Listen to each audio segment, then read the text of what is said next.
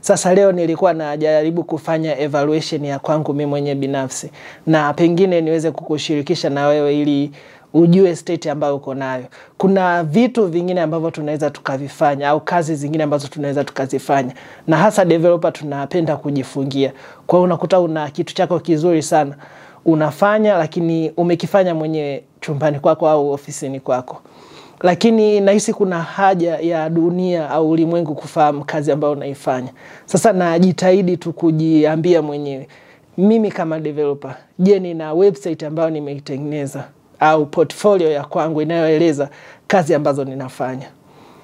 Sasa kama sina hiki kitu, basi pengine nina GitHub repository ambayo iko kule kwenye GitHub, ambao watu wengine wanaweza wakaniangalia kutokana na kazi ambayo nimeifanya.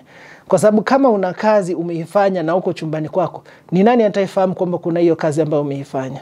Hebu tujaribu basi kuji expose au kutoka nje ya comfort zone na kuwaruhusu watu wengine waone kazi unayofanya, kwa sababu we mwenyewe unaweza kuona kazi ambayo naifanya isiwe labda unaona ah, hii kazi bado it's premature na nini, lakini nakwambia kitu ambacho unakifanya ni cha tofauti na watu wengine wana appreciate, na yawezekana kuna watu ambao watakupa negative criticism.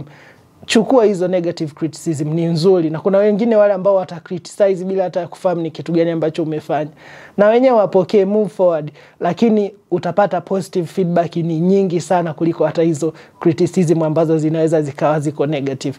Ah, kuna wakati hizi negative criticism zinakuwaga ngumu, hata watu wakubwa kabisa kama Tyler na wenyewe huaga Tyler Otwell ambayo ni creator wa Laravel huwa anapata struggle kupata hizo uh, negative criticism, lakini huyo yupo na bado anaendelea kufanya kazi ambayo anaendelea kufanya nayo. Kwa kitu kingine ambacho nilikuwa najaribu kuangalia, na pengine kuna app au kitu fulani ambacho umekitengeneza, make sure una kipublish kwenye um, iOS app store, lakini vile vile uposte na kule Play Store kama ni Android hii itakupatia nafasi kutoa hata reference. Hata ukienda kwenye interview, kama unatafuta kazi, unasema bana, mimi nina kazi yangu, lakini em, chukua hiyo, tafuta kwenye Play Store kitu fulani. Ukifanya hivyo, watu wengi watakuwa wana trust na wataona kazi ambayo umeifanya, na itakuwa rahisi hata kuanzisha mazungumzo au kukupatia kazi ambayo ulikuwa unataka. Kwa hiyo nilikuwa nataka nikutie moyo, mwaka umbaki kama na miezi miwili hivi. Kwa hiyo hakikisha unajaribu kusort out hizo issue ili tukianza mwaka elfu mbili na ishirini na tatu basi wewe uh, profaili yako ya developer imekaa vizuri. Usiache pia kuweka profaili yako vizuri kule kwenye LinkedIn, na kwenyewe kuna nafasi nzuri sana ya kuonyesha uwezo wako kwa watu professional.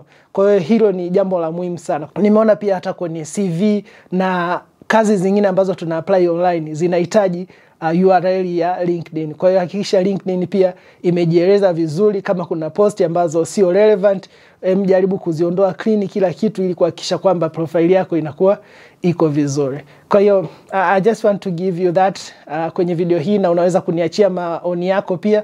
Uh, ni namna gani kama developer ninaweza nikaji expose au nikaonyesha uwezo wangu ili watu wengine waweze kunifahamu kwa kazi ambayo nimefanya. Talk to you in the next video na usisahau kusubscribe kwenye YouTube channel ya Esa Software.